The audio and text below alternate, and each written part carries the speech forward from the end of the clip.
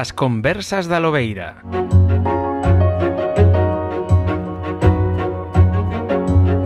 Moi boas, benvidas e benvidos unha tarde máis Onde xa falamos, pois hoxe tamén As conversas da Lobeira Benvidos, benvidas e benvides eh, Hoxe temos con nós a Pablo Álvarez da cooperativa eh, da Sociedade Cooperativa Galega Nosa Enerxía eh, imos falar neste orde primeiro do, do cooperativismo enerxético e logo da enerxía, da electricidade, do comúnmente coñecido como a luz.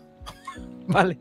Entón, entón eh, antes de nada, toca facer as tres preguntas de sempre que facemos aquí na, na, na Lobeira Today. Queda un pouco cando, cando a conversa é deste tipo, é máis seria, é menos para coñecer a persoa, é máis para coñecer un proxecto que, que eu coido que está ben coñecer, eh, quedan un pouco como, sabes, entra, teñen que entrar como con calzador. Pero, Pablo, confesa claro aquí, gustanche, saben os chícharos?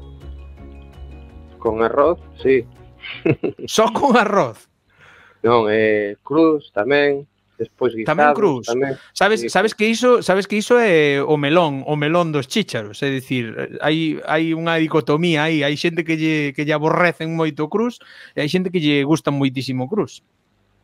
A mí encanta de todas maneiras, eh, os chícharos ademais acompañan moi ben e é un mm. complemento fabuloso. Si, sí, mesmo mesmo a todo mundo que, que eu son consuma... un Eu son un amador dos chícharos tamén, eh? e mesmo dime conta lendo a, a, a composición do pienso da miña cadela, eh? do penso da miña cadela, que levan chícharos tamén. Eh, despois, outra típica que fago, que é a pregunta tópica total de praia ou montaña? Uh, aí me pillas. A ver, originalmente son unha persoa do mar. Eh, vivo en Vila García Carón do Mar, pero Despois un 50% eh, de min ven da, da montaña, non? Da, da montaña Ourensá, da Ribeira Sacra. Entón, Jolín, eu claro, é teño, que... teño o privilexio de, de ter monta o mellor das dúas partes, do mar e da montaña. Carambas. Que, quedome cos dous, exacto. E entón, se che digo, eh, se che digo aldea, vila ou cidade? Eh, aldea e vila. Cidade ata unha dimensión que poda abarcar eh, de, dun xeito humano. Grandes cidades destas de millóns de habitantes non é moitísimo para min, é dicir, eu que podo abarcar é sempre que teña eh, digamos o monte pretiño, non, a natureza preta. Sí, que poides ir a dar unha volta polo monte e tal. Exacto. Bueno, pois toca xa falar do cooperativismo enerxético, algo que ata, ata aí até aí ben pouco era eh, sumamente descoñecido para min. De feito, teño que aclarar unha cousa en público, porque senón péjame, eh, que me dixo que me dixo a miña Lucía, eh, por ende, un tercio das lolas da cascarilla, díxome que, eh, que ti non és cooperativista, que a cooperativista son eu. E é certo, a, a cooperativista en, en nosa enerxía Sociedade Cooperativa Galega é ela. O nome que consta é o de Lucía, non o meu. Estive mirando os papéis e dixen, anda, diantres. Bueno, pero é válido igual. Evidentemente, eh, sempre ten que ser un dos dous. É dicir, que aí o mm. paso xa está dado. Digo, eh, por que xurde? Mm, que, que move que move a Pablo e a, e a, e a, toda, a todas as compañeiras e a todos os compañeiros de iniciais, non? A crear unha cooperativa enerxética, unha, unha, unha sociedade cooperativa. Bueno, é dicir, eh, o factor que podemos definir como que nos move, máis ben, é dicir, de onde vimos, non? É dicir, eh, nos enerxía xorde no 2014, eh, xorde, digamos, dun grupo de persoas pois que están preocupadas veñen do oído do, do medio ambiente, preocupación da conservación eh, dos nosos recursos naturais, eh, tamén sente un pouco cansa do modelo enerxético que temos, non? É dicir, a, uh -huh xa no 2014 se abusaban, digamos, as grandes empresas enerxéticas, non? E, e pouco cambiou, que a día de hoxe tamén temos queixas, non? E, e bueno, e xente ese, que... Oiche, Pablo, ese melón abrilémolo logo máis tarde. Exacto, exacto. Pero... Non, pero é, é como ter un DeLorean, non? E volver para atrás e volver para diante e ás veces pensa que un non se avanzou moito, non? Pero bueno, É un grupo, digamos, eh, multidisciplinar de, de persoas, homes, mulleres, que están preocupados, digamos, un pouco pola, polo medio ambiente, pola, polo sistema enerxético, e despois tamén xente que, que, que bueno, quere facer país, eh, que, que, se, que se fagan, digamos, estruturas aquí na nosa terra, non? Para que, uh -huh. eso, eh, se, se nere oportunidades, emprego, etcétera, E, bueno, nesa mezcla habría que preguntarlle a todas as persoas socias, non, cal foi o seu motivo, pero eh, na meiranda parte eu penso que recolle un poquinho esa, esa idea, non? Pois nesa, dentro desa mezcla, pois juntámonos e creamos unha cooperativa enerxética, non? Eh, no 2014, seguindo un modelo de cooperativismo enerxético que xa estaba fundamentado noutras partes do, do territorio e, eh, e, eh, e eh, sobre todo en Europa. Uh -huh. Eh, sí, porque vin que, que, que pertence, como se dixéramos, estades vos mesmas, é dicir, a, sociedade cooperativa Nosa Enerxía está asociada, a súa vez, é cooperativista nunha cooperativa máis grande europea, non si? Ou algo así. A ver, eh, non, a ver, eh, están as cooperativas enerxéticas en cada territorio, despois sempre existen as súas federacións de cooperativas, non? Ah, vale, estatal, é a federación entón. O que e despois a Federación Europea. A Federación Europea de Cooperativas chamase Rescop, que uh -huh. engloba moitísimas cooperativas, a, a máis dun millón de, de persoas, socias, e, bueno, están falando de xigantes cooperativistas, pois a mellor como Greenpeace Energy en Alemania, que, que son a mellor 200.000 persoas socias, ou Mildengrund en Dinamarca, EcoPower en, en Bélxica, non? que son, digamos, uh -huh. eh, eh, cooperativas que teñen unha dimensión bastante ampla, non? Eh, por exemplo, sí. un exemplo, ademais, como surdiron, por exemplo, EcoPower en Bélxica, na zona de Amberes, uh -huh. surde un pouco a, ao solpor do movimento aquel que había nos 80 dos euromisiles, non? Que había protestas polos misiles nucleares e todo iso. Sí. E, bueno, eh, desa xente, pois, decidiu deixar a enerxía nuclear apostar por un modelo energético diferente. E despois foi tamén curioso, porque na zona este dos Países Baixos hai moitos, moitas, moitas canales e todo iso, e, e, e moitas veces o que querían facer era poñerlle aos polder un, unha turbina pequena, non? para, para generar enerxía, non? E a partir de aí comezouse a, a crear, digamos, cooperativas, non? Detrás de cada cooperativa sempre hai unha historia curiosa, non? E, e cal é a historia, cal é a historia detrás de, de nosa enerxía? Que é o que, que, o que, de, o que detona a creación? Pois o que detona a creación, pois eso, eh, foi unha, unha xuntanza de, de, de persoas que estaban, digamos, en, en concordancia con, con a idea de crear unha cooperativa enerxética e, bueno, xuntámonos en Compostela e, e decidiuse levar adiante o proxecto e aquí estamos, non? No 2014. Uh -huh. eh, como foron os comezos? Foi duro ao principio? Como, como, como foi? Eh, os comezos son como todos, dende nada, non, non tiñamos recursos, entón os comezos sempre foron un pouco pois sustentado pola, pola, polo traballo voluntario eh, digamos, pola ilusión da xente de ir sumando e crecendo pouco a pouco, etc. Non? E, bueno, uh -huh. eh, ainda así, eh, eh, unha cooperativa enerxética, aunque a día de hoxe teñamos un número que parece dende fora considerable, tampouco somos aínda moi moi grandes, non? É dicir, que, que que un comezo o importante é ter ese espírito de, de ir hacia adiante, non? Que, que a mellor enerxía que che dá, porque se a mellor agora sentaste, te pos a pensar voltarías a facer todos o esforzo, o traballo, todo iso, a mellor moita xente non, non, non repetiría. Eu si repetiría, a verdade é que eh, eu penso que é un proxecto que está facendo moita ilusión á xente e, eh, e sobre todo o máis importante a, a nivel persoal é que eh, a confianza, esa confianza que deposita a xente nun proxecto, pois é importante responder e nunca fallar e non, e, e bueno, para min é, é digamos é o mellor pago que, que se pode dar, non? Cando ves a xente satisfeita, uh -huh. e, e, e que se sinte cómoda, non? Eso é importante. Porque eh, Pablo, para, para a xente que non saiba aínda de que vai isto de nosa enerxía, que mellora que, que mellora ofrece unha, unha cooperativa contra o que ofrece unha compañía eléctrica convencional? É dicir, bueno, nese sentido hai que dicir que Nosa Enerxía é unha cooperativa de usuarios e, e de persoas usuarias e consumidores que son socias e que traballa sen ánimo de lucro, non? Uh -huh. Na práctica o que fai é comercializar enerxía, non?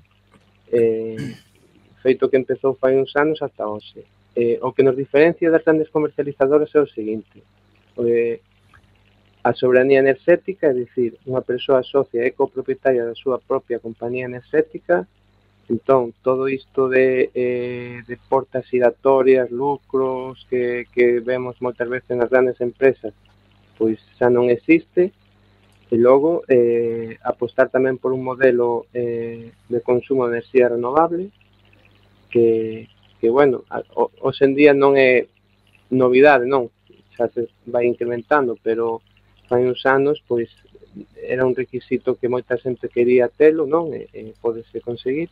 E logo é o empoderamento eh, a nivel persoal, a nivel da sociedade, que supón un proxecto destas características. É dicir, eh, un socio nosa enerxía como cidadá, como persoa, sempre está máis forte, digamos, contra o contexto exterior, sendo membro dunha cooperativa como nosa enerxía, que outro que non o sexa, non? Digamos, que nos complementa, non? Estar nunha cooperativa enerxética porque uh -huh. o grupo humano falo no noido enerxético, evidentemente. E, e, bueno, sempre buscamos as mellores opcións e, e, e procuramos sempre buscar o mellor para as nosas persoas socias. Eso, digamos, outras empresas que están traballando a prol do lucro non é, digamos, a prioridade, non? Entón, eh, a cooperativa o que ten eso, é que complementa, digamos, eh, economía social xunto mm. un hmm. modelo, unha proposta de, de digamos, darlle protagonismo ás persoas, non Des, dentro deste, deste sector energético. Claro, porque quen, quen, pode, quen pode asociarse? Quen pode ser socio? Pois calquera persoa física ou xurídica pode facerse socio, ten que facer unha aportación ao capital social de 100 euros que en caso de que darse de baixa serían recuperables, eh, nada máis. Claro, eso recordo eu. Eh, para, para, para convertirte en socio da cooperativa, ti tes que aportar 100 euros que despois, cando deixas de ser socio, recupéralos. É dicir, é o capital social. E, e, e despois calquera eh, persoa xurídica ou, ou mesmo, neste caso, por exemplo, concellos, empresas, etcétera, non? Exacto que me fixo me fixo moita gracia que, que estaban por aí as, as, as galletas mariñeiras.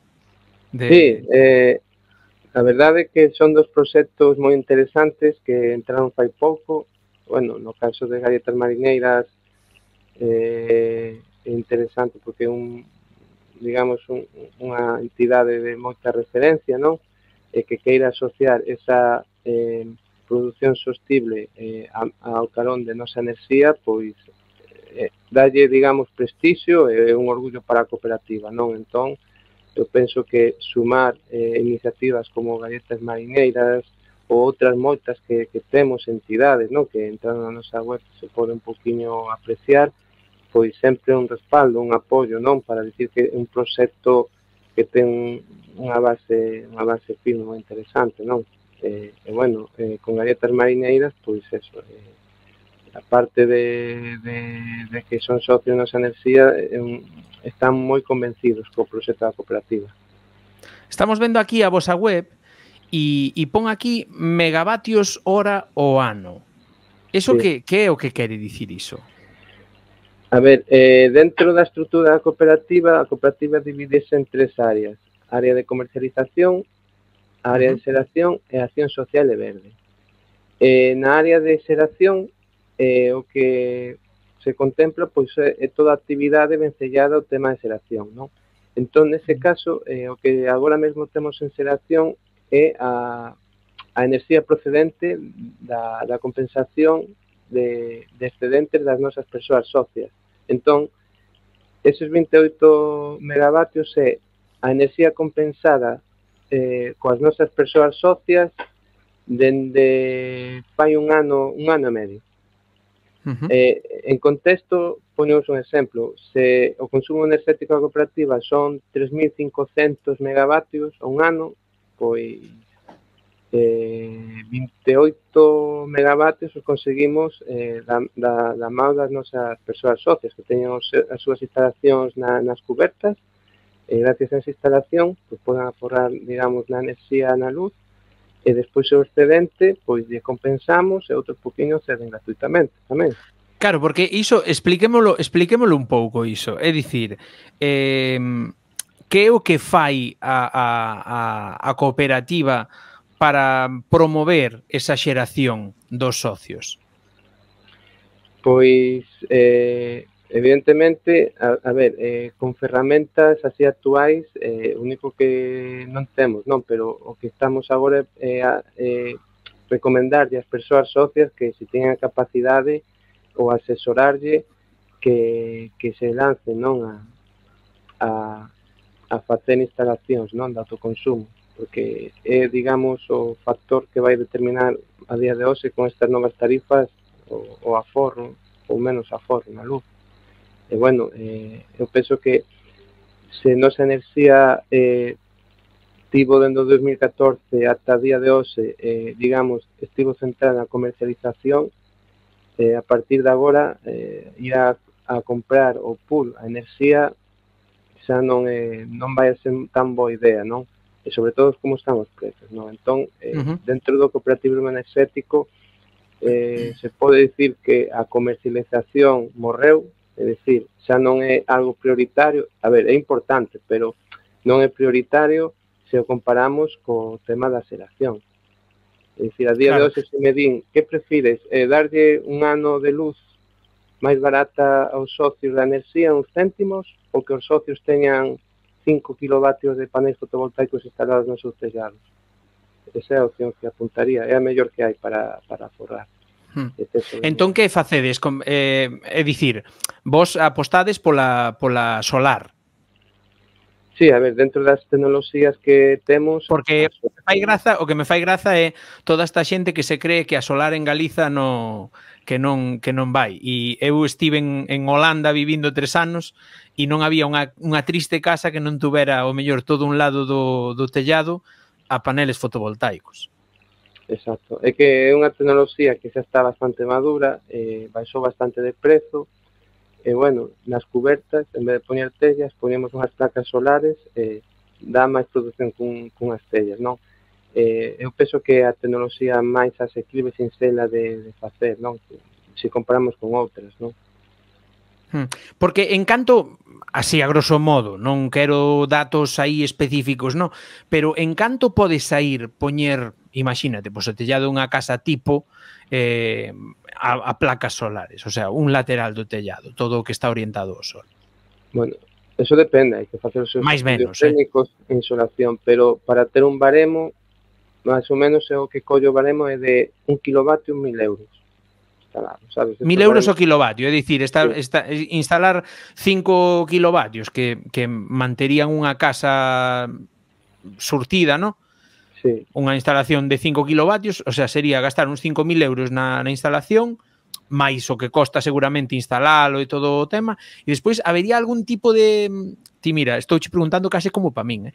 Habería algún tipo de acumulador ou algo disto para, para, para poñerlle ou, ou xa estaría? Poñer as, as placas? Non, é dicir, eh, hai, hai acumuladores, é dicir, baterías, pero tería un coste superior do, do proxecto, non? Entón, hmm. as baterías é eso, de que son acumuladores, que eh, cada certo tempo van perdendo, digamos, a súa capacidade de acumular, eh, bueno, Claro, eh, porque esas placas o único que farían sería evitar que nos consumíramos todo da, da, da rede, non?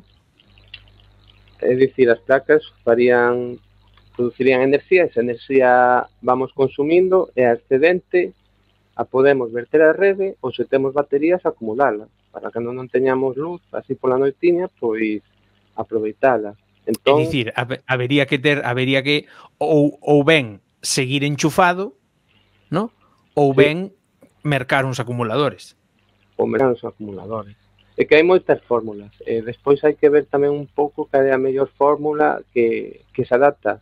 A bien, non? Por exemplo, temos casos de persoas socias que teñen coche eléctrico e, e empregan, digamos, o excedente de enerxía en recargar o coche eléctrico. Claro. Hai que ter en conta que que a mobilidade tamén implica enerxía, a gasolina é enerxía, entón, bueno, uh -huh. eh, no, no, no investimento económico é tan importante aforrar na electricidade como na gasolina tamén. Sí, obviamente, obviamente. Claro. Eh, para cando agardas ou agardades que nosa enerxía sexa eh, comple completamente independente do pool, de, de, desa subasta enerxética e poida abastecer co que xera a todos os socios e socias.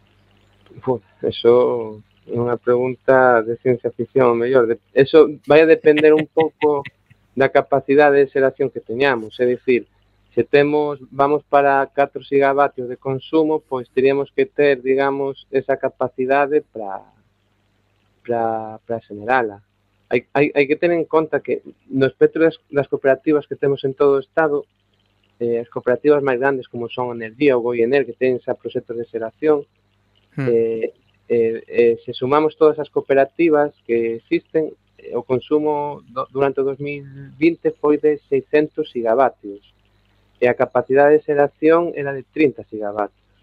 Non, perdón, era oh. 650, 30, é unha parte moi pequena, entón, claro. Carambas, claro. Eh, é dicir, hai, hai, hai xeito de facelo, dicir, de xeración. E, de feito, eh, xa se está traballando, non? Eh, a arestora dende a cooperativa, pois, eh, pois un poquinho en pensar en, en ese mundo que vai a vir coa xeración, eh, xa estamos traballando hai ferramentas. Entón, esperemos que nos vindeiros meses se poda sacar adiante propostas e proxectos vencellados á xeración, eh, sobre todo eh, para o impulso do, do autoconsumo, non? Non, de momento meterse a mellor nun nun megaproxecto, pois tampouco... Que planes, que planes tedes abertos agora mesmo? A ver, é dicir, eh... canta, canta, canta eh, deses, deses 28 megavatios ao ano que, que, que supoño que é o que se xera, non? O que, o que, o que xerades, o que xera a cooperativa, vamos. Eh, uh -huh. en, en, canto, en cantos proxectos está dividido? Pois eh, son entre 10, 15, non, sobre unha, unha decena de, 10 proxectos. De, de proxectos pequenas, eh, de, de autoconsumo, digamos, a nivel local. Uh -huh. Digo, a nivel eh, de vivenda. Eh, o que sí podemos comentar é que agora neste mes de, fe, de setembro xa prácticamente se finalizou o proxecto que lanzamos que xa dende fai dous anos que o de, o de proxecto de Tamega que consiste uh -huh. en bueno, en facer unha comunidade energética en Tamega e bueno, eh, ou al borde, digamos, dunhas axudas que veu da Unión Europea para apostar, digamos, pola enerxía renovable, pois eh, procedeuse a, a, a potenciar a instalación, pois, bueno, sendo promotor e a comunidade de Montes de, de, de Tameiga, en Mos, eh, eh, rematou, rematouse nun prazo pois, que se comenzou no mes de marzo, creo, marzo-abril, tres proxectos que suman casi eso, 280 e pico kilovatios de potencia eh, e aí temos un bo exemplo, non? Tameiga é o maior eh, consumidor da, da cooperativa de enerxía, Uh -huh. eh, eh, gracias a isto vai a forrar muchísima enerxía xa, xa está forrando, mellor dito e bueno, ese proxecto de Tamega sería, digamos, a saída para eh, seguir desenvolvendo unha comunidade enerxética entre os comuneiros e as comuneiras de... Claro, porque de... o tema Entendo que o tema é canto canta máis xente asociada e canto máis proactiva a crear novos proxectos sexa eses socios cooperativistas, máis eh, poder de autoxeración e autoabastecemento vai ter a cooperativa, entendo. Exacto. É, é un modelo moi interesante, eu penso, para acabar, digamos, eh, enerxía sen ter que meterse a facer grandes proxectos, non? E ademais, é, é bastante abarcable no, no sentido en que eh, é bonito eso, facer unha comunidade enerxética, digamos, a nivel de toda Galicia, eh, contando coas pequenas aportacións das persoas socias, non? Un poquinho aquí, uh -huh. si faise, digamos, realmente, eh, eh, digamos, unha xeración bastante repartida e comunitaria. Si atinase igual de ben nas quinielas ou na lotería, pois pues, xa, xa sería perfecto, non, a verdade é que, que ten, temos a sorte de ter, digamos, ademais, traballo voluntario, é unha persoa que nos leva facendo fai tempo o traballo este, e, bueno, é, é sempre unha garantía para a cooperativa contar con, con un gran profesional, eh, socio, evidentemente, eh, que, que nos proporcione, digamos, esas tarifas tan competitivas, non? Eh, tedes que perdoar se perdistedes eh, unha, unha parte disto, eh, podedes facerme saber ata onde escoitastes no chat e tentamos retomar. Agora imos lle dar un xiro a isto e imos falar agora da luz. Imos falar de, desa, de desa maldita luz. E vouche facer primeiro unha pregunta, vale? Imagínate que agora chegase aí o, o Doc Brown, vale? Co DeLorean, aí, e che puxese uh -huh. as chaves nas más, e che dixera, oes Pablo, vai onde queiras, en dúas horas quero o coche aquí onde irías? Ostras, pois sería unha boa idea. Eh, presente, pasado, futuro, pois... Depende para que cousa, é dicir, eh, te refires ao mundo da enerxía ou en xeral, non? Non sei, eh, farei un periplo pola historia. Pararía, faría. Un periplo, non? Ti como, como sí. quen foi que me dixo aí atrás? O, o Carlos Callón, que tamén me dixo que iría a ver eh, fitos da historia, ¿no? Yo iría pasando por determinados fitos da historia para, para irlos sí, vendo. Sí, sí, sí, sí, non, eso tamén faría, non, non teño tampouco así unha época moi concreta de quedarme aí e tal, non, porque en Regreso a Futuro es, era un pouco a América dos anos 50, que era tal, o Far West e tal, e logo Futuro, pero aquí temos unha historia moi moi rica e interesante, non? Entón, por que non velo todo, non? Vou aproveitar eh, para facerche agora unhas preguntas que nos facía chegar aí o, o amigo Moisés Pombo que, que que falaba, no, sobre de todo, facía preguntas sobre sobre a luz, non? E, e o rollo era, unha empresa pública ten capacidade para baixar o prezo da luz? Depende. É dicir, eh, esa empresa pública que lle exixen ou que di o goberno que vai xerar, que vai crear, ten posibilidade realmente esa creación desa empresa pública da luz, desa empresa pública de electricidade, imos falar con propiedade, por favor. Sí. Ten, ten posibilidades de, de baixar o prezo da a tarifa da, da electricidade? A ver, poder rebaixar.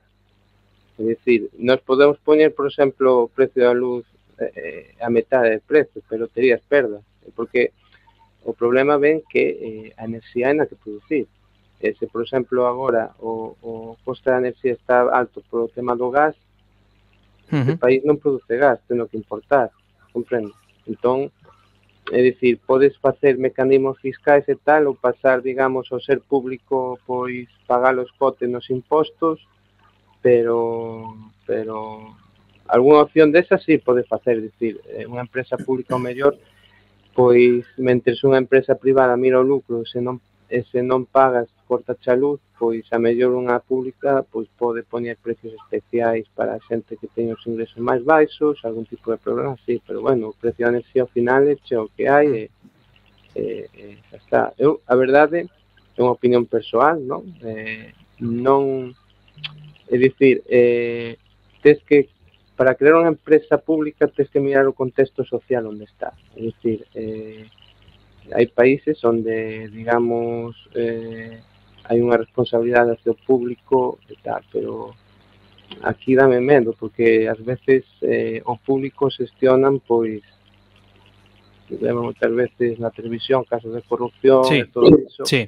Entón, depende en que, en que maus cae, non? Eh, e o que ten, por exemplo, eh, digamos, a esfera privada ou, ou por exemplo, eh, é que se hai algo así, pois eh, o, o cidadán ten a oportunidade de escoller, dicir, pois non vou a mercar máis enerxía aquí, ou tal. En cambio, o público sempre goza dunha ventaxa. É dicir, se nos estamos queixando dun oligopolio enerxético, pois é dicir, eh, se temos unha empresa pública pois eh, hai, hai que ver tamén como está o tema da competitividade, non? Que... Hmm. A que se debeu? Pregúntanos tamén aquí o Moisés, e era unha pregunta que eu tiña tamén para facerche. A que se debeu eh, ese cambio de lei e esa repentina subida da luz? Que foi o que cambiou na lei para que de repente a, a electricidade, o prezo da electricidade na, no, no, no pool, no, comezase a subir e a subir e a subir e estemos sempre falando a máis de que despois comento che outra dúbida que teño, non? Pero a que se debeu ese cambio? A ver, hai hai moita eh, algo un pouco para contar. O tema está en que eh, o que fixo o goberno foi eh, implementar unha directiva europea que xa estaba aprobada de fai anos e por eso se puxeron as novas tarifas da luz, como as coñecemos a Vestora, non? Bueno, entón, eh, como todo, eh, ao introducirse estas novas tarifas da luz, pois eh, sabemos que os hábitos de consumo van a modificarse, entón, claro, eh, a xeración pois eh, ten que atender unha demanda que antes eh, atendía unha maneira e agora tena que atender de outra maneira, non?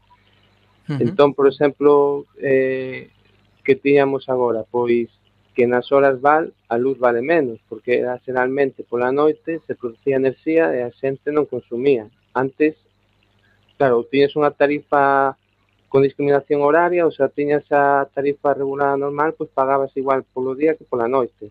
Agora o que se fai é un pouco estructurar, digamos, eh, ese consumo enerxético e eh, ven un pouco eh, atendendo ese consumo pois a, a, a demanda que existe ao longo dos días. é dicir, a hora punta pois é normal, eh, ás 12 do mediodía a 1 é cando hai máis actividade, todo está funcionando, entón aí onde hai máis máis demanda enerxética. Entón, Ajá. decir, a enerxía non ven limitado, decir, a non ser que sexa renovable. Entón, se tens que botar mans a, a, ao gas ou tecnoloxías que, que valen bastante máis, non? Logo na subasta enerxética pois é a que vai facer o precio máis caro da, da enerxía. Claro, pero iso iso como se come? É dicir, eh, poñían hai tempo un símil en Twitter, non? Que me fixo moita graza que, que a actual tarifa eléctrica, a actual eh, o, a, o actual prezo da, da electricidade é como se si eu entro nunha froitería e collo unha, un kilo de mandarinas, un kilo de mazás e un kilo de aguacates. E cando vou a pagar, o tipo mira cal é a froita que levo máis cara e cóbrame toda a froita o precio desa froita máis cara. É unha cousa así? Sí, exacto. É un bo exemplo que puxete, non?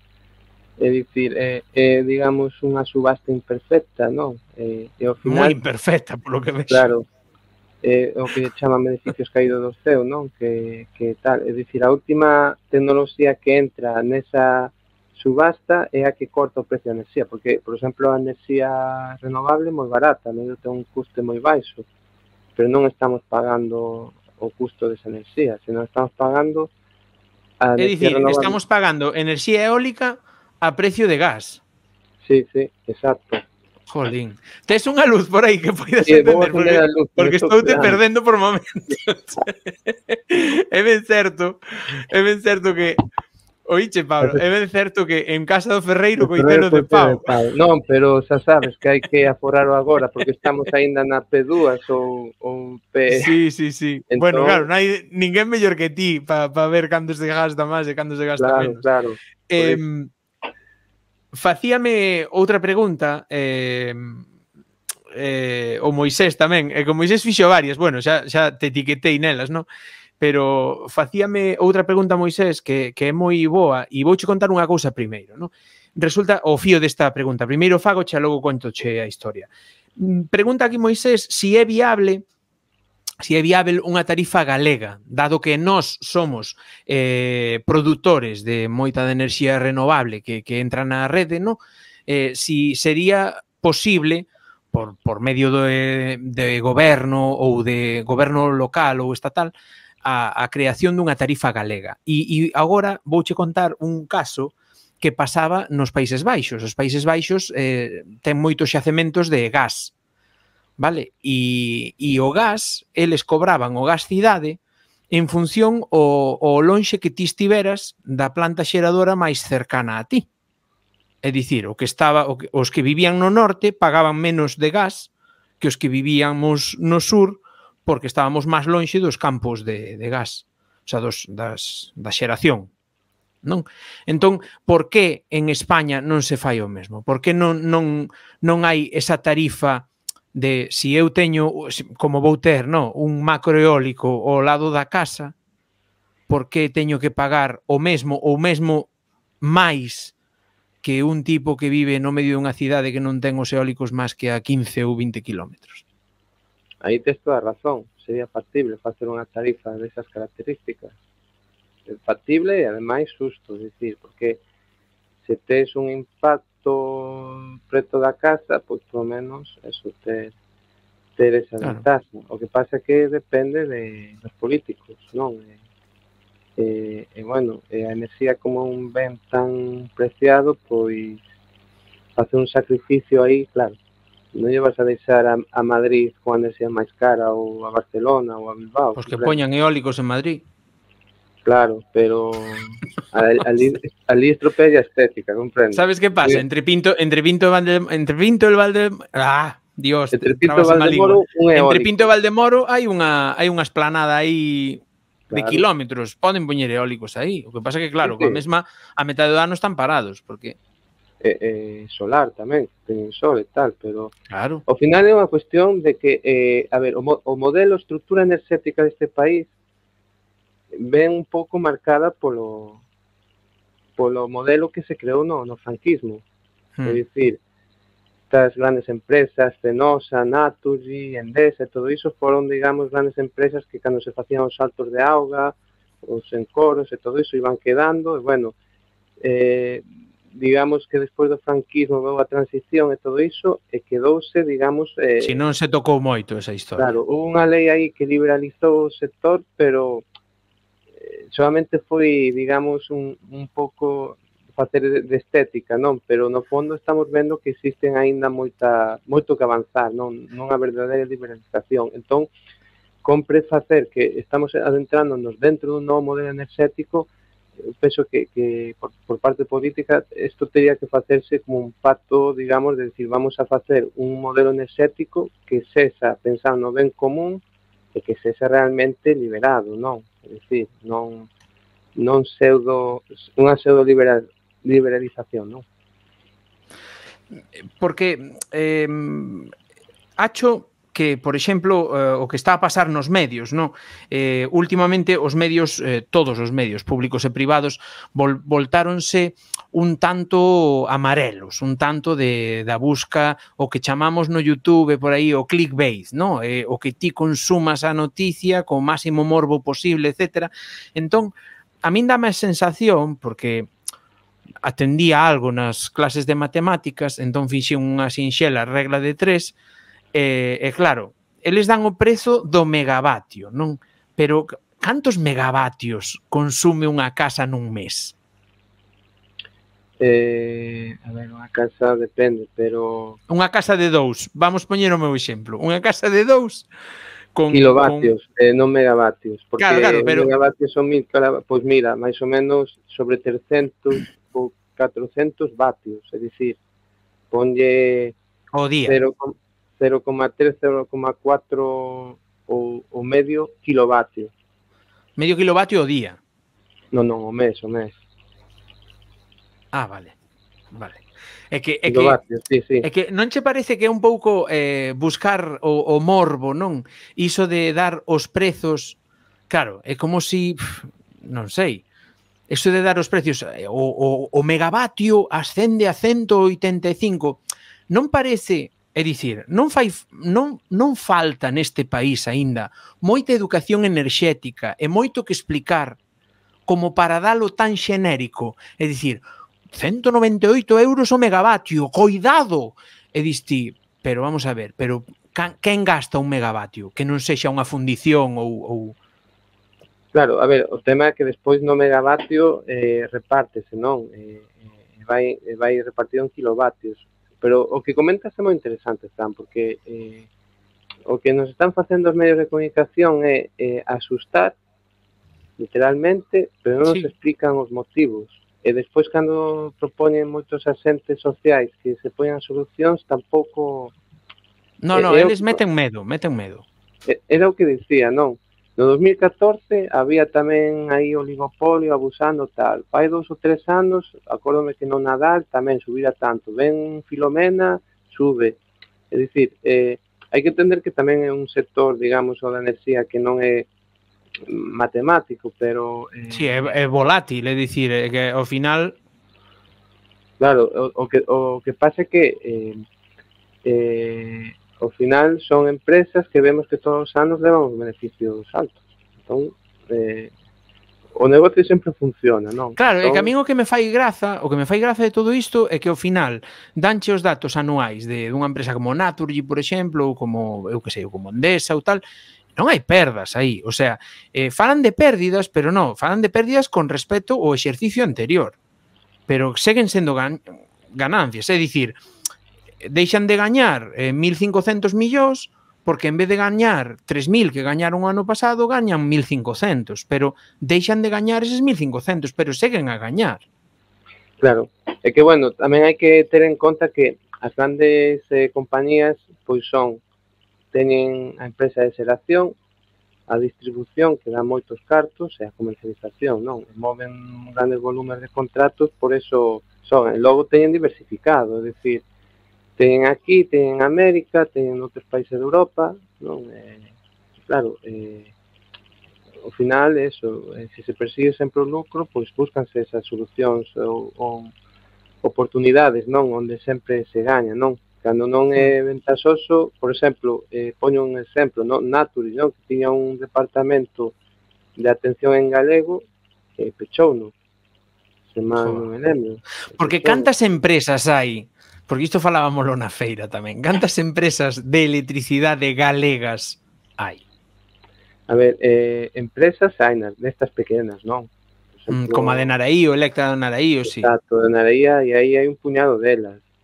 Logo temos, digamos, con maior proxección como comercializador, por exemplo, como cooperativa é a única que hai nos Enerxía. E logo hai así algunha empresa pequena, que apunta mediana, bueno, que, que tamén é de Galicia, pero, bueno, o, o que perdimos foi Natos e Fenosa, non? Eso era o peixe gordo que tiñamos e ao final creo que vai acabar nun fondo destos de, de Italiano, non? Ou algo disto? Italiano, australiano, algo por aí, non? Entón, claro. Que mal eh, eh, eso para facendo reflexionar e eh, poñer máis en valor unha cooperativa enerxética, decir, temos o monte temos un moinho eólico ou unha fonte de xeración que está facendo o seu impacto eh, eh, eh, e mm. ainda por riba non nos beneficiamos Claro, se queres falar co señor, tes que ir a Nova York, a Sydney, un sitio así, non co propietario, non? Entón, claro. Eso realmente o que porque entendo que que si faz, digamos, esa ese sacrificio de poñer, pois, pues, sabes, mira, poño un muiño eólico, pero sei que eh, Vestas non vai a pechar de Viveiro, non? Ou, ou vai haber unha asesoría técnica aquí, ou vai ser a emprego, sabes? Crea, crea unha dinámica, pero que vémolo moi ben moitas veces en, en outros sectores, non? Claro, pero non che parece que os, os medios a veces parece, mesmo parece, eh, sendo un pouco conspiranoico, que hai un tada aí, que, que meten aí cartiños, natos e todas estas para que a ver, contade isto, que isto vai ter ben aferradiños aí os clientes e o resto non contedes, eh, que non nos convén. Claro, pero os medios de comunicación xa sabemos que se pode mercar incluso noticias para que falen ben de ti, non? Ou Sí, sí, sí, ah, sí, sí. Moitas veces vimos casos así, de, por exemplo, le facían algún medios algunha entrevista e se mencionabas unha empresa de tal, o oligopolio que non facían, o retiraban, porque dicía que nos un dos maiores publicistas que temos, non? Entón, claro, aí onde onde está, porque ao final os medios de comunicación moitos deles están controlados por grandes grandes empresas tamén, non? E, e claro, claro, claro. claro. A, a quen pertence, claro. Vamos, eh, señoras e señores, eh, asóciense á cooperativa porque isto é o futuro, é o que nos queda porque senón eh, van facer de nós un pandeiro. Eh, quería falar tamén contigo un pouco por riba, non quero tecnicismos nin cousas moi profundas, pero sí, por exemplo, saber un pouco cales son as partes principais dunha factura eléctrica. Eh, dame moita rabia porque iba a traer unha factura cos números veladiños para pa tal e non a puiden preparar. Entón, así a grosso modo, vale? eh, que, que é o que nos pagamos na factura eléctrica e que parte que parte é fixa e que parte varía coa subasta da, da, da electricidade. A ver, facendo así, digamos, un resumo sincero para que a xente a bote pronto teña unha idea, nunha factura eléctrica hai unha parte que vai encaminhada a enerxía e outra parte que son impostos e peaxes, non? Eh, na parte da enerxía, pois eh, está nun 50-50, un 45-55%, sabes? Eh, entrar en ese baremos. Eh, a parte dos impostos, IBE, imposto de electricidade, as peaxes, eh, que é, por exemplo, por usar as líneas de alta tensión, non? Eh, as perdas sí. que teñen as líneas de alta tensión, as tasas sí. que levan os concellos, etc. Eso é unha parte eh, fisa que, que, que pon a administración, non? Cando que é que é polo que ata onde eu sei, porque eu son moi inculto nestas cousas, eh? Pero ata onde eu sei, esa parte fixa é o máis grande que pagamos na factura, non si? Claro, eh, de feito, eh, estamos vendo que está baixando agora o precio da luz porque o goberno interviu e dixo vamos a rebaixar a parte dos impostos.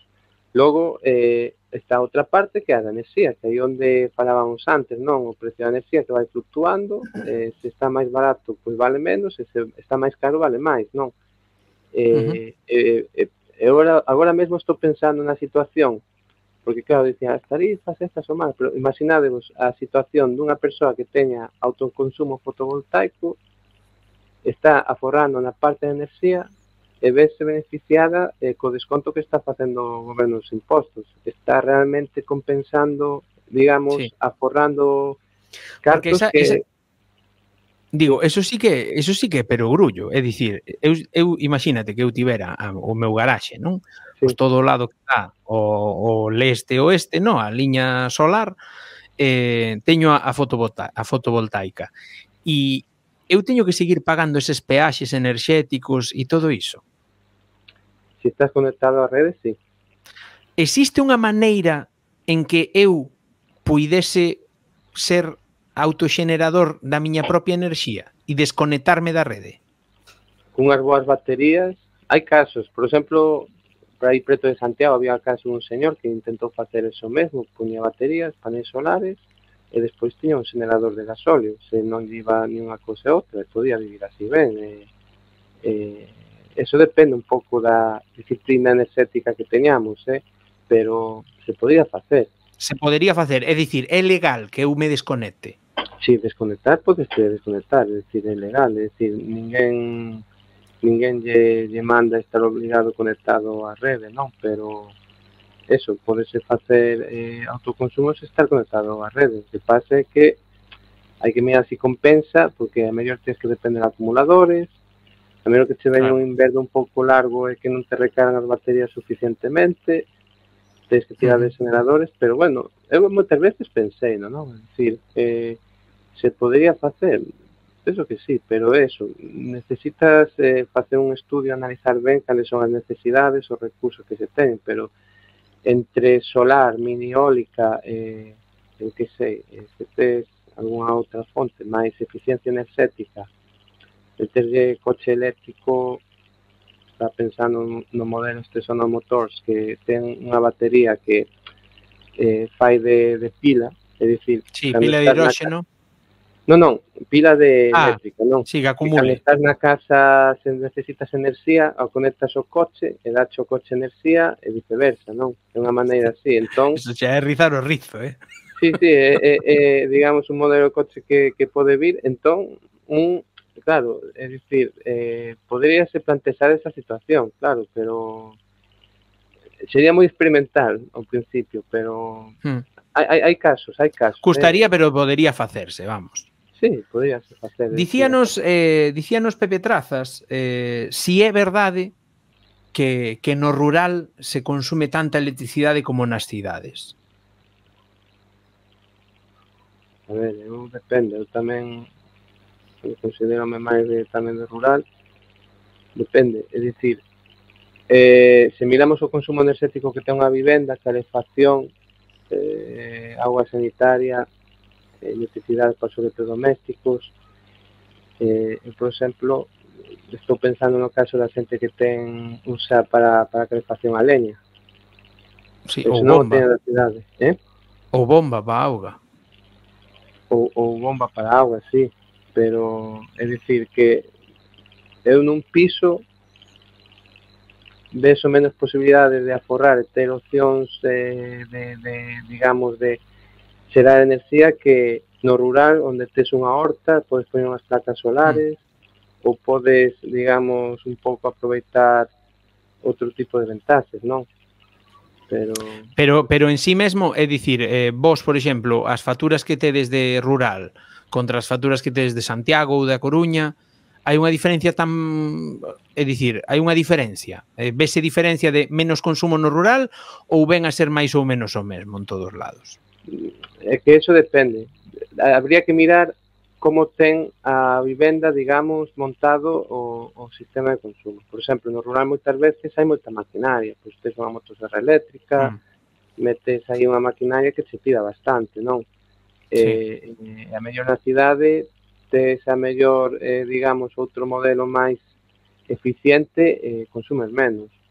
Sí, non hai, claro, non hai tanta maquinaria, o mellor, claro. Sí, claro, sí, eh, hai, hai que ver tamén, por exemplo, as ganderías no rural consumen bastante, non, non as ganderías de, de base de leite, ten unha maquinaria que eso tira bastante. Entón, aí sí, pero eu penso que está máis ou menos eh, Dinos aquí eh, Eva Patiño que a este paso o que imos é vivir no coche, xa aí vai todo o gasto. Sí, a ver, eh, vivir no coche, xa hai moita xente que vive nas caravanas e todo iso. Eu penso que eh, temos que aproveitar que nesta situación de crise enerxética eh, o interesante velo como unha oportunidade. Hmm. Se eh, saímos desta crise enerxética coas solucións que nos dan de sempre dentro do oligopolio, que é unha ecuación moi sincera, dicir, ti estás na casa, nós xa te levamos a enerxía, pero non é unha enerxía que ti poidas dicir algo ter voz ou non, é dicir, unha enerxía como o gas, quen ten gas? Ninguén. Eh, ou, ou enerxía, digamos, procedente dun parque eólico e vai a tua rede. Entón, esa soberanía enerxética que nos podemos atopar dende esa vai a facilitar eso, de que eu teño as miñas placas solares e que incluso podo sair hacia adiante, non? Entón, o, o aforro e o rendemento que está dando, digamos, ese modelo de instalación de placas solares, apostar por unha mobilidade máis sostible, eh, co tempo aforrase cartos, eh? aforrase hmm. cartos mm. e, e, e, e, e dá riqueza. É dicir, sí, tendo, é dicir, tendo a oportunidade, a recomendación de nosa enerxía é tirarse ao auto, a, a autoxeración, non? Sí. A, a día de hoxe a fotovoltaica. Sí, de feito xa estamos vendo en boom de, de fotovoltaica e tal, porque a pregunta sempre lle fago a xente que me conte un caso de xente que quitou os paneis fotovoltaicos. Que todo o mundo que o pon, pois, darálle sí. maior ou menos rendemento, pero é, é, é para ben, non? Que non é unha cuestión de dicir, ui, vou non quitar que me fai tal, non, non, sempre sempre beneficio. Ma, dá máis que unha tella. Eh, eh, ti dixéchelo antes claro. O, o panel fotovoltaico vai xerar máis que as tellas que están postas no tellado ou que a oralita. Exacto, pensade unha cuestión, cando se fai unha vivenda, canto se, se gasta no tellado.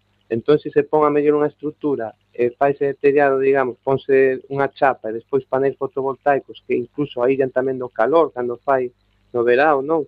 Ailla do calor e todo iso, pois eh, os cartos que se destinan a, a facer o tellado, tellado sí, pois sí, podes esa meter unha instalación fotovoltaica. Sí, mágoa non haberlo non te lo pensado antes. Claro. Eh, dinos eh díxome aquí a miña a miña señora, a miña Lucía, eh mandoume unha pregunta tamén e é te, ten eh, a cooperativa Nosa Enerxía ten algún tipo de bono social para a xente sen recursos? Non, é dicir, é que non é porque non o teña, porque non o queramos ter e que por normativa non nos deixan dar bono social a administración. Solamente hai unhas compañías de, de referencia que son as grandes do oligopolio que sí poden dar. É curioso porque eh, para sufragar o bono social todas as comercializadoras teñen que dar unha cantidade todos os meses, non? De, hmm de desa de cantidade de, de enerxía de, de bueno, pagalo para sufragarlo, non en sí. En cambio non o podemos dar. Eh, non é algo que se está reivindicando, non?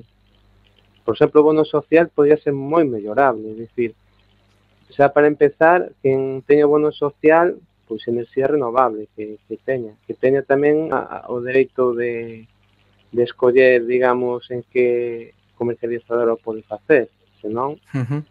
é un pouco pouco Jolín, Así. É que ela preguntábame na orde de que non sabía eh, quen subvencionaba o tema do bono social e todo isto, non? Entón, eh, para, para, xa para resumir un pouco, porque levamos, mira, xa levamos unha hora, eh, decías ti, ah, sí. que votaremos unha hora? Pois levamos unha hora falando. Entón, para resumir un pouco tamén o que estábamos falando antes cando se cortou, eh, que é o que ten que facer alguén que nos estea vendo agora e queira asociarse á única sociedade cooperativa enerxética de Galicia galega? Pois nada, eu o primeiro que lle convido que entre na nosa página web www.nosaenergia.com punto gal, punto gal, punto gal, que o cambiamos eso, www.nosaenergia.gal e aí que lle boto unha hallada, ten toda a información eh, de que a cooperativa, os estatutos, como funciona, eh, eh, digamos, os precios da enerxía, o formulario para asociarse, eh, outros servicios e propostas que temos, non? E depois se ten algunha dúbida, pois pode contactar connosco, enviarnos un correo electrónico, chamarnos e xa, xa lle resolvemos, non? E despois, eh, dicirlle a xente tamén que hai un grupo en Telegram no que sí, ir poñendo noticias tamén. Sí, é dicir, a, a importancia, é dicir, dentro do traballo voluntario que estamos facendo, pois unha da importancia que, que é manter a masa social enterada, non informada, e temos algúns mecanismos como grupo Telegram para ter, digamos, esa, esa información inmediata. Por exemplo, ahora que o rematar vou subir o, o, no grupo de Telegram para que, que as persoas socias da cooperativa pois, podan seguirnos. Eh, temos un boletín, temos redes sociais, a página web e, sobre todo, a disponibilidade de que calquera persoa que nos contacte, pois lle damos esa, esa resposta, atención persoal, non? Que, que precise. Por exemplo, moita xente nos contacta pois, para enviar unha factura de luz e facer unha comparativa con Mesa Iconos Enerxía. Eh, bueno, nos informamos en ningún compromiso piso e dicir, pois, mira, podes mellorar aquí, ou veces envíanos e non, se non, non lle sai mellor coa cooperativa, tamén nese, nese, nesa, neste sentido sempre somos honestos, eh, eh, e, e bueno, é un mecanismo que temos agora de momento. Uh -huh. Entón, eh, para, xa para sintetizar finalmente, eh, o que ten que facer calquera que, que, que queira ser socio, visitar a web, e a cambio dunha, dunha aportación ao capital social que é recuperable cando deixe de ser socio de 100 euros, pois comezaría a, a, a ter a electricidade mm, suministrada por Nosa Enerxía, Sociedade Cooperativa Galega, non si? Estaba vendo aquí en no tema na pestana esta de tarifas, que isto de tarifa 2.0 TD e eh, 3.0 TD. Eh, Esos son as novas tarifas eléctricas que viñeron co, co cambio, non? Antes había a tarifa 2.0A, non? O 2.0 con discriminación horaria, despois estaba a 3.0 a tarifa industrial, non? A 6.0. E agora se, se xuntou en dúas tarifas, a 2.0 TD, que digamos que son as, as tarifas eh, eh, por debaixo de un consumo de creo que 10-15 kilovatios e despois as superiores, non? Que son a 3.0 TD. Pois eso se, se separan aí. Uh -huh. Entón, eh, eu esgotei eh, todas as preguntas que tiña para te facer.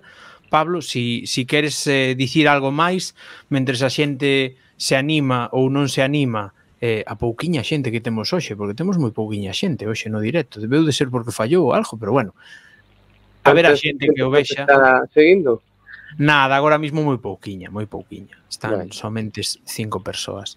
Pero bueno, non hai nunca moitas máis de 15 ou 20 como moito. Pero mm, digo, se queres dicir algo máis, eh, se non eh, vou ir anunciando a conversa da semana que ven, que imos ter a semana que ven, o mércores que ven. Eh, digo, se non queres dicir nada máis. Sí, a ver, eu gustaríame, pois pues, mira, precisamente eh, saudar a estas cinco persoas que nos están seguindo eh, e, eh, bueno, emplazaras a eso, que nos envíedes un email pois eh, se queredes algunha, é dicir, que, que se atrevan a dar ese paso e probar a experiencia en nosa enerxía, eh, eh, e non importa ser moita xente, pouca xente, senón isto vai se facendo pasiño a paso, non? Eh, eu penso que, que sobre todo, se non damos o paso, eh, despois sempre nos estamos arrepentindo de que as cousas non camen, non? Entón temos que ser un pouco coherentes, non? Eh, o que criticamos, uh -huh. intentalo cambiar, sen máis. E bueno, a verdade é que, é que eso, eh, que poden entrar na web e, e, e bueno, e, e pasar tamén coa nosa enerxía, porque, bueno, penso que, que é un proxecto moi ilusionante e que, e que cantos máis cesamos, pois máis podemos facer, evidentemente. Bueno, pois pues, eh, vou ir dicindo mentras a xente se anima ou non a, a, a poñer os seus comentarios na, no, no chat, vale? Que para a semana que ven teremos con nós eh, a Serafín Pazos Vidal, que é o responsable, atentos aí, eh? atentos aí, galego, o responsable da Convención Escocesa de Autoridades Locais na Unión Europea. Eh, a parte de investigador, politólogo, eh, moitísimas cousas máis que tiña por aquí nunha imaxe que vou pasar a vos ler porque é que me flipou. Entón, eh, moi interesante, a verdade, eh? O tema. Sí, sí, é eh, eh, doutor e eh, máster na Unión Europea. Doutor e máster na Unión Europea, licenciado en Ciencias Políticas e da Administración e diplomado en Xestión Financiera Pública eh, foi analista de política europea para varias comunidades autónomas e autoridades rexionais británicas, con 17 anos de experiencia profesional en Bruselas, de 2008 a 2018 foi coordinador do Grupo de Expertos en Cohesión Territorial do Consello de Municipios e Rexións de Europa, o CMRE, e é membro do Grupo de Expertos en Subsidiariedade, en subsidiariedade do Comité das Rexións. Eh, como investigador é membro da, da AECPA, eh, a Regional Studies Association, e publicou artículos eh, e obras colectivas sobre política regional, gobernanza multinivel e procesos de descentralización comparados ou xestión pública. Foi experto e redactor de informes para o Parlamento Europeo, o Parlamento Británico, o Parlamento Escocés, o Comité das Rexións e o Consello de Europa, e a súa tesis doctoral eh, Subsidiar Subsidiarity and EU Multilevel Governance Actors, Networks and Agendas cum laude e premio extraordinario de doutorado en 2018. Eh, que máis? Que máis, que máis queremos? Pois eso é total, eh? é total. Ademais, apasiona, porque eu tamén son politólogo bueno, todo o que estás dicindo é algo que, que, que me encanta. Entón, xa, pois terémolo, terémolo por aquí, terémolo por aquí. Agardo, agardo a túa pregunta, Pablo, para el.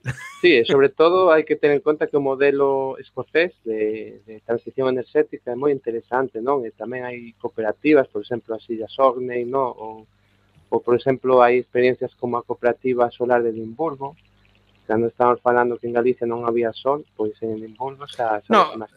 Bueno, eu, eu digo che, eu digo che que a min caeume ese, ese santo caeume o día que o día que cheguei a Holanda e empecé a ver eh, e empecé a ver placas solares en toda canta en toda canta casa había ali para que despois veñan aquí dicirnos que que no, que home, o solar en Galicia, por favor, como vai haber solar en Galicia? E diste, pero que máis dá, si o solar non, non, non funciona mellor canta máis calor é dicir, o que funciona é coa luz, e ao final luz diurna témola en toda, en toda España. Exacto. Nos sitios no, con... No, nun sitios, é, é dicir, estamos falando de Holanda que é moito máis, eh, ten moitos, eh, como era, non nos ganaba a Ferrol, por exemplo, non lle ganaba en, plu, en, en chuvia, pero si nos ganaba en días, nuba, en días nubrados, é dicir, tiña moitos máis días nubrados que Galicia, Holanda.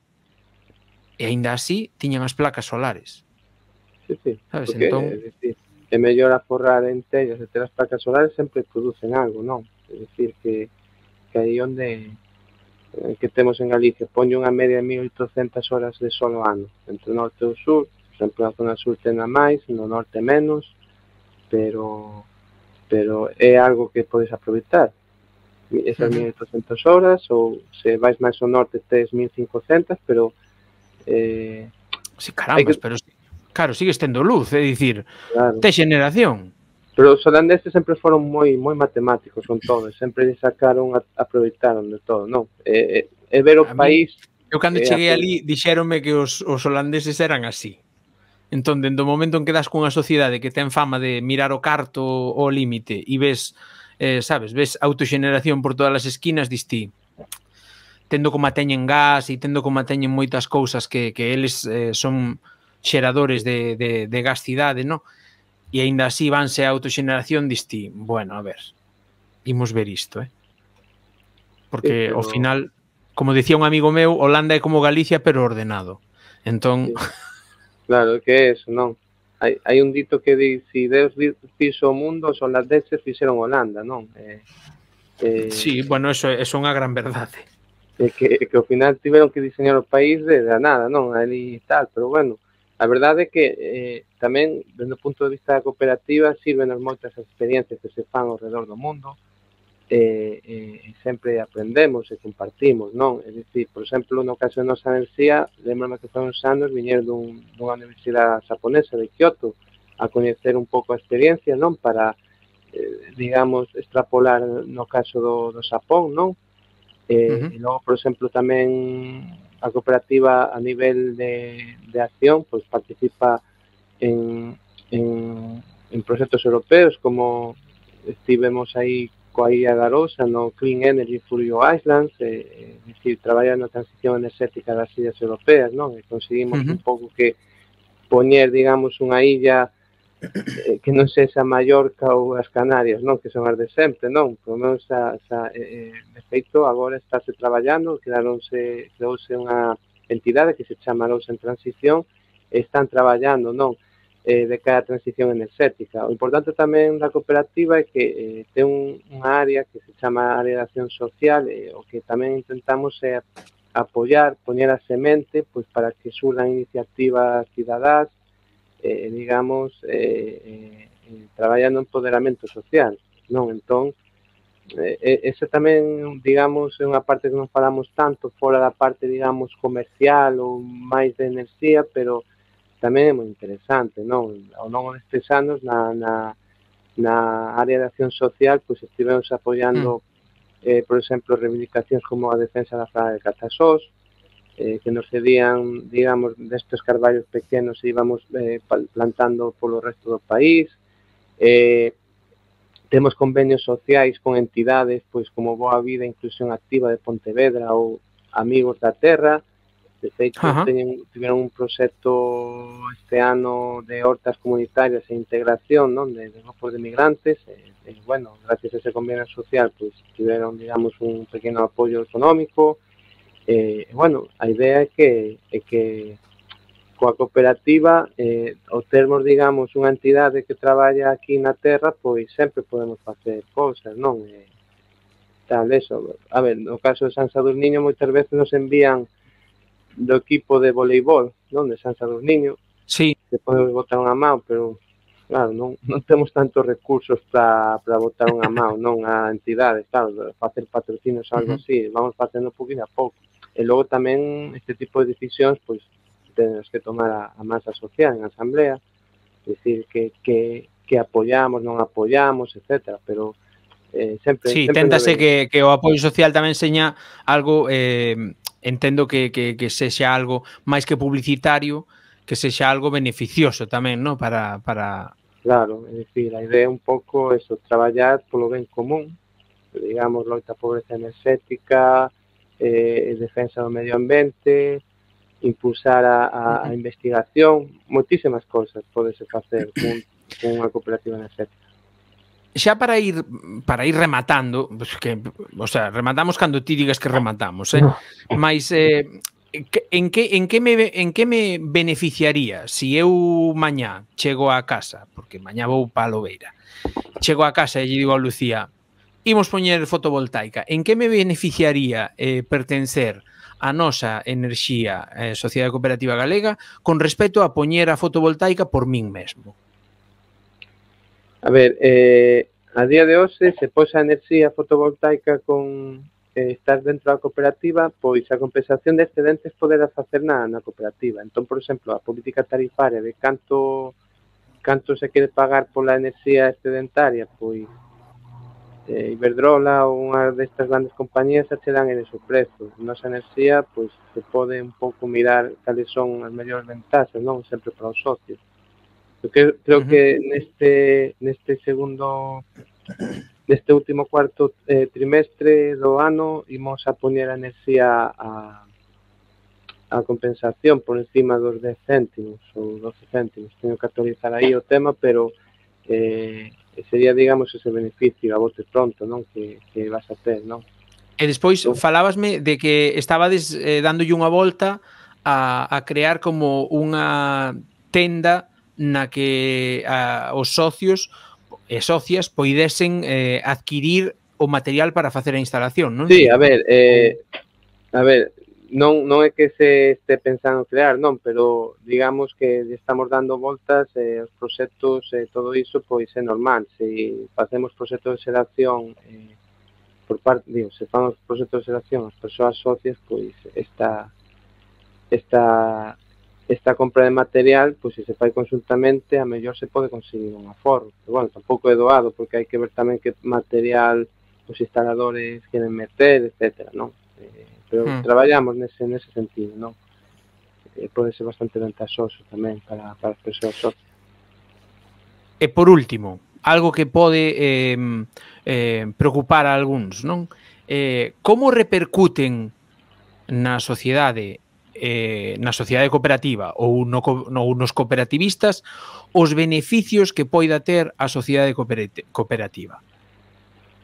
A ver, eh, non é que teñamos moitísimos beneficios na cooperativa, empezamos a ter beneficios nos últimos dous anos, tres anos, porque antes era traballo voluntario, tamén ter que facer investimento e agora estamos un pouco recuperando.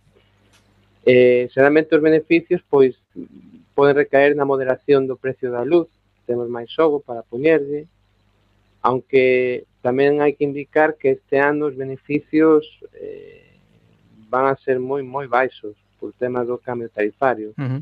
Hai que ter en conta unha, unha coyuntura interesante. Eh, por exemplo, nós cos cambios tarifarios na cooperativa, por exemplo, cando o goberno baixa un 10% o IBE, sí. eh, a cooperativa teñe que pagar distribuidores o IBE ao 21%. Entón, ese 11% non o vamos a recuperar hasta dentro dos meses. Logo tamén está o precio da enerxía, que é bastante alto, e logo tamén o tema de, de, de que, por exemplo, remesas que non se puderon enviar a tempo, etc. Entón, quedamos un pouco de estrés de tesorería.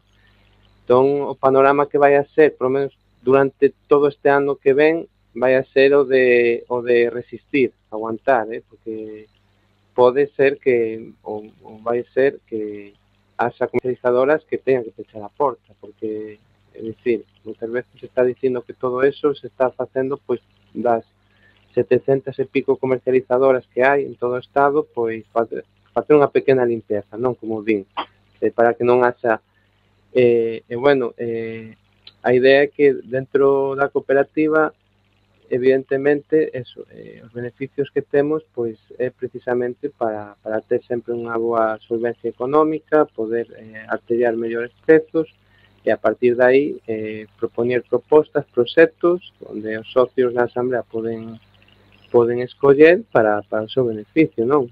Uh -huh. Com, coméntanos, eh, coméntanos aquí Dimas eh, GL25 eh, pon. Eh, e os que temos placas xa postas por unha empresa instaladora, podémonos pasar a ser socios?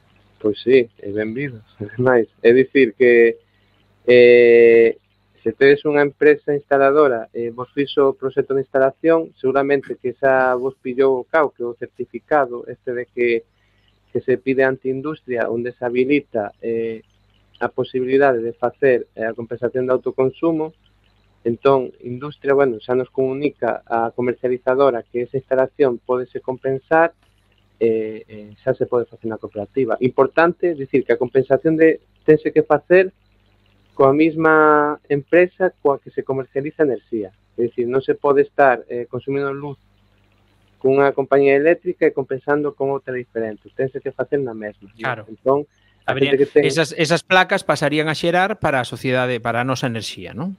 Sí, o excedente pasaría. Hai que ter en conta que chamase compensación de excedente porque, eh, eh, digamos, a compensación o que se pagaría é un límite que sería o consumo que tería a vivenda. Cando se produce máis dese consumo que ten a vivenda, esa enerxía vai gratis para a rede.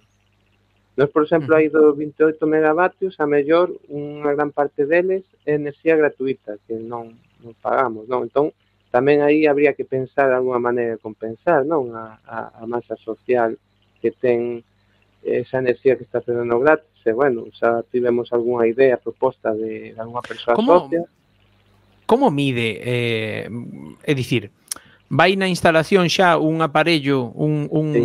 diría a nosa Eva Patiño un achifánfano que, que vai colocado aí e mide o que está aí a rede ou como é? sí, o inversor eh, ten un aparatiño e, eh, e, eh, eh ve o que está producindo, despois moitas instalacións xa teñen unha aplicación que lle das o botón e dixe en tempo real o que está producindo, o que está consumindo, eh, o que generando, sí. consumindo, tal. Se pasou unha nube, notase, non? Temos un socio que, que, que o, o bueno, vou dicir aquí, eh, Montases Lagoa, de, de, Ajá. de Paradera Lugo, que, que levou a instalación, digamos, de, de Tameiga, e moitas veces cando vou ali a Tameiga, saca e comenta, non? Eh, e ali coa xente, dice, mira, acaba de pasar unha nube, ou cando foi un eclipse, que hubo un eclipse solar este verão, creo que sí, que claro, estaba montando. Claro, que notar, claro. Notase, notase, non? Eh, hai moi bons aparellos que a mellor estás eh, en un sitio non sano, e eh, con esa aplicación, que eh, bon. podese ver. Non, a idea é, é tamén eso, de haber tamén na cooperativa, pois cando teñamos máis autoconsumo e todo iso, pois dispoñer a mellor na, na próxima eh, páxina web di aí di máis que veciño teu, eh, Suso, sí, de, de, de Paradela. De Paradela. Pois sí.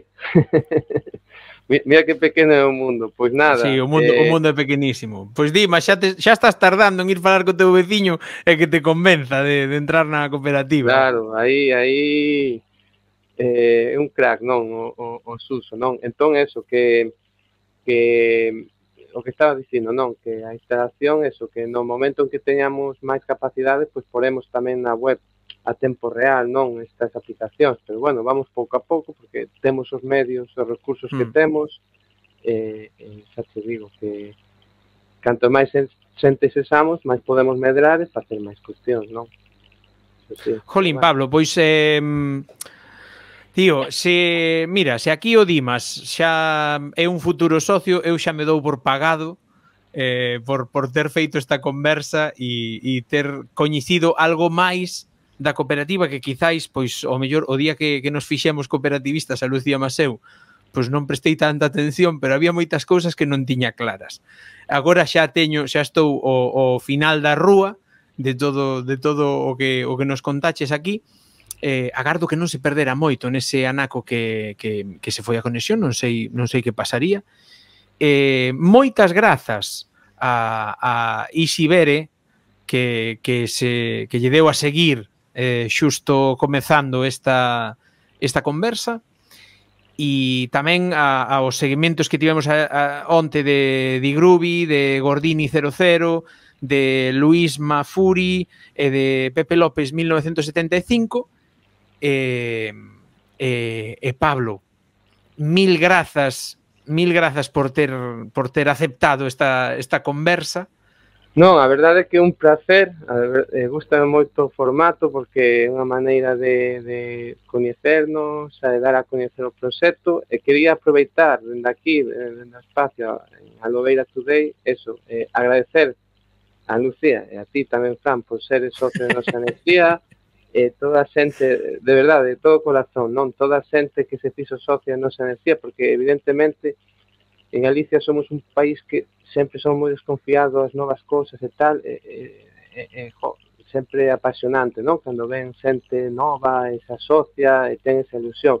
Eso é realmente o mellor pago que, que eu personalmente dentro da cooperativa, eh, tamén podo falar en nome do, dos meus compañeros, dos compañeros da cooperativa, o mellor pago, non? Cando vemos que a xente pois vai sumando, vamos facendo, digamos, un proxecto cada día mellor, teremos os nosos erros, os nosos acertos, pero a idea é sempre traballar eh, na liña na liña que, que busque sempre o ben común para, para as nosas persoas socias, non? E, bueno, eh, para o que queirades estamos a vosa disposición e, bueno, muchísimas gracias. Bueno, pois eh, nada máis Eh, ata aquí chegou a conversa con Pablo Álvarez, eh, vicepresidente da Sociedade Cooperativa Galega Nosa Enerxía, eh, a única sociedade cooperativa galega de enerxía eh, que existe no noso país. Eh, eh, nada máis. O resto, eh, cito vos para a, a mazá de Eva que teremos o martes que ven, e máis eh, a conversa con con eh, con Serafín Pazos Vidal que teremos o vindeiro mércores. Como digo sempre, vémonos noutra e apertas. Apertas a uno. Woo!